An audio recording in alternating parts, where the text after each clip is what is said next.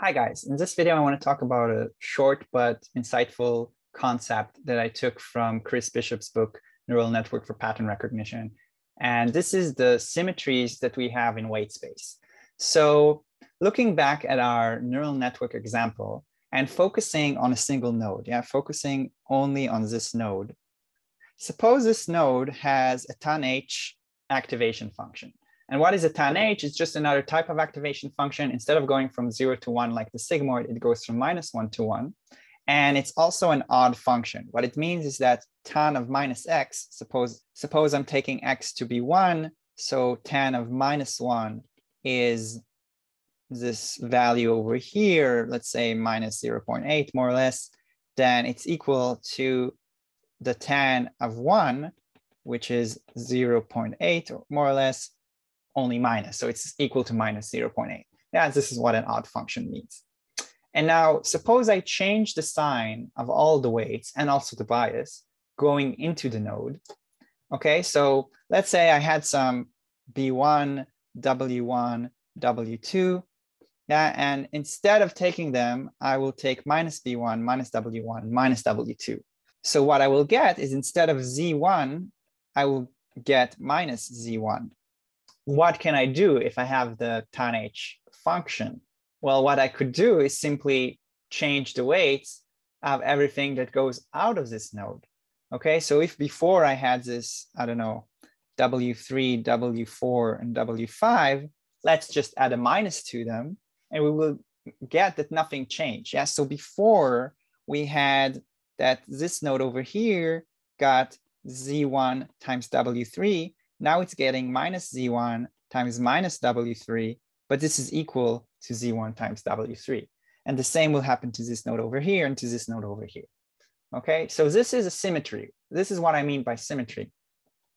For each node, uh, we have two different set of weights that can produce exactly the same network. Yeah, either B1, W1, W2, and W3, W4, W5, or minus B1, minus W1, minus W2, and minus W3, minus W4, and minus W5. So the, there's two, and that's two pair each node in this layer of hidden units. So there's two times two times two. In this case, there's eight. If we had m number of hidden units here, we'll have two to the power of m. Okay, and this is just for one layer. Again, this happened because we use the tanh symmetry. There's also symmetries caused by other activation function. Another example of symmetry is the permutation symmetry. So suppose uh, I'm taking this node and I'm taking all the weights that led to it and I'm just moving them to this node over here. So this was B1, W1, W2, and now I'm saying this is B1, W1, W2. I'm taking their values and I'm just putting them all to this. And uh, instead, I'm taking, let's say, all the weights that came here and I'm moving them here. Yeah, so all the weights that came here are now pointing here. So if we do this for all the weights that go into the node, but we also do this to all the weights that go out of the node. So we also move W3, W4, and W5 from here to here, and also move this up, yes, to these. Then what happened, again, we're getting exactly the same result. The function doesn't change. So, so if we permute the nodes with their respective in and out weights, the function stays the same. And you can try it yourself. You will get that you actually got the same thing.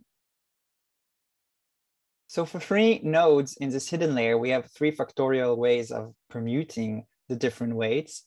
And overall, we would have three factorial times two to the power of three. And let's say we have L layers with different number of nodes written as M1 till ML. And the layers here, I'm referring to the hidden units layers. Then we would have this amount of uh, symmetries for the first layer times this amount of symmetries for the second layers, et cetera, et cetera, until this amount of symmetries for the final layer. Overall, we would have this amount of symmetries. And what it means, it, it means that if we have an optimal solution, there's also uh, this amount minus one other optimal solutions. And if we are stuck in a local minima, there's also this number of other local minimas that are symmetric uh, to our local minima.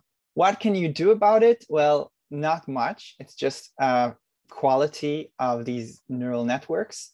but I thought it was interesting and I hope it gives you an extra insight into the nature of neural networks. So I hope you enjoyed this short video and I see you in the next one.